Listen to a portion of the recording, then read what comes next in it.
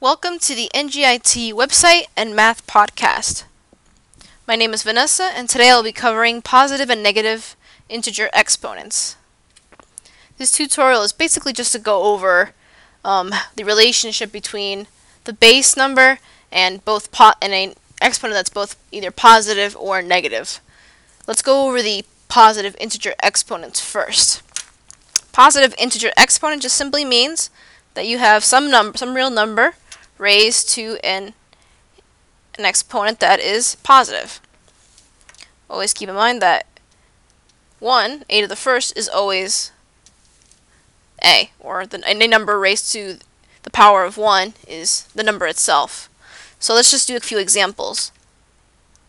So if we had 5 raised to the third, that's simply 5 times 5 times 5, which is 125. Now the important part to remember with positive and negative integer exponents is when you have a negative no- when you have a negative base number, the parentheses are make a, make a, make a major difference to your answer. So first of all, if you have let's say negative 3 squared, that negative is is involved with 3 and is affected by the exponent because it's in that parentheses. So this can be rewritten as negative 3 times a negative 3, which is positive 9. Now, if we were to either rewrite it as this, just negative 3 squared, or sometimes it's written as 3 and with the negative, with the 3 like this. But most of the time it's, it's shown like this.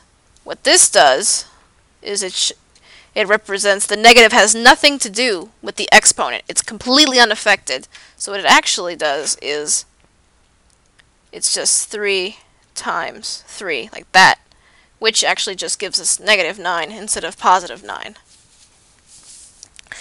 Though this is very important to remember because when you're doing negative um, integer exponents, the same rule applies. But it's also, but again, it's very important to decipher whether the negative is affected or unaffected by the exponent. So the parentheses tell you if the if the negative is in the parentheses, then you apply the exponent. Apply it to the exponent. If it's outside of the parentheses or if there's no parentheses written, that usually indicates that the negative is unaffected by the exponent. So now let's dive into a negative integer exponent.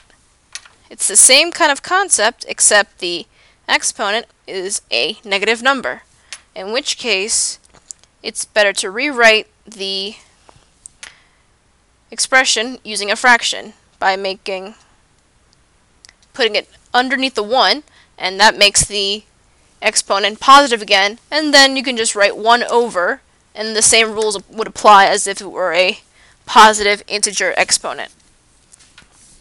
So let's do a few examples. Say we had a negative 5 raised to a negative 2. First things first is you want to take apply the, the rule that we just uh, described and put it over 1. So we're going to write 1 over negative 5. And now because it's, it's underneath the 1, this becomes a positive. Now, the denominator can be treated as a positive integer exponent because the exponent is now positive. And don't forget, the in this case, the negative is inside parentheses, which means that the negative has to go has to be affected by the exponent. So if we rewrite this, then this just becomes 1 over negative 5 times negative 5, which is equal to 1 over 25. So if we did the same thing, except that we're, now we're, let's say, negative 5 raised to the negative 2.